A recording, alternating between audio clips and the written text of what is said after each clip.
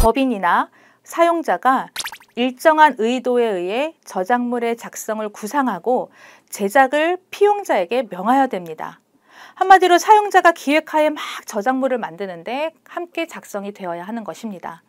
일반적으로 사용자가 저작물의 작성에 대해 기획하고 그 직원들에게 지시하는 방법 등으로 저작물을 작성하였다면 맞습니다.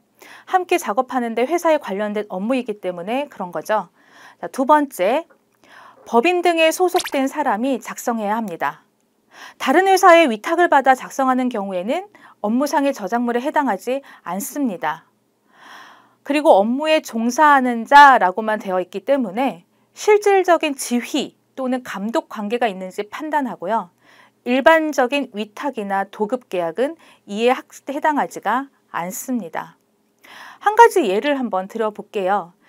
굉장히 시험 문제나 이런 걸 잘 내는 엘리트 선생님이 계십니다.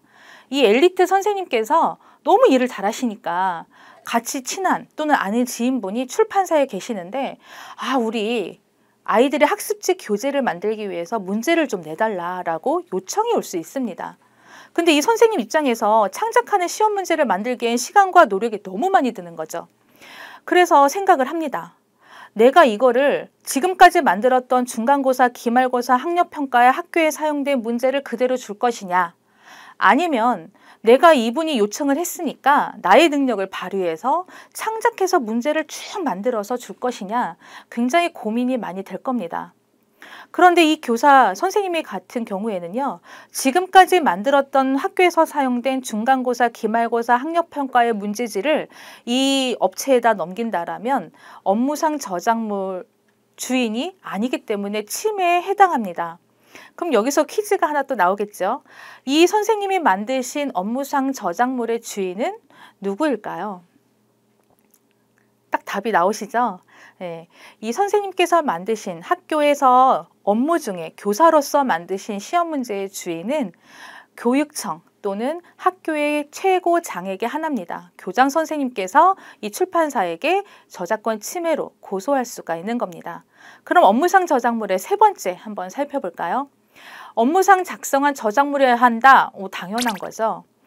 공무원이 업무상 얻은 지식과 경험에 의해서 창작이나 자신의 여가 시간을 활용하여 창작한 경우에는요, 업무상 저작물이 아닙니다. 선생님께서 굉장히 뛰어난 화가예요. 미술 선생님으로 오셨어요. 하지만 작품 활동하실 수가 있거든요. 학교 이외의 업무 시간에 집에서 그림을 그린다고 해가지고 이 선생님이 교사이기 때문에 그 그림이 전부 다 학교 장이나 교육청의 저작물은 아니라는 거죠. 그러니까 학교 선생님이 학교 시간 외에 나가서 활동하는 모든 사항에 대한 저작물은 전부 다 이 선생님의 것이 되고요. 그리고 학교 내에서 미술 시간 외에 작품 활동을 했다라면 그거는 업무상 저작물에 해당할 수도 있습니다. 대신 외부 유출 시에는 문제가 생길 수가 있겠죠. 그리고 업무상 저작물의 요건 네 번째입니다. 업무상 저작물은 법인 등의 명의로 공표해야 합니다.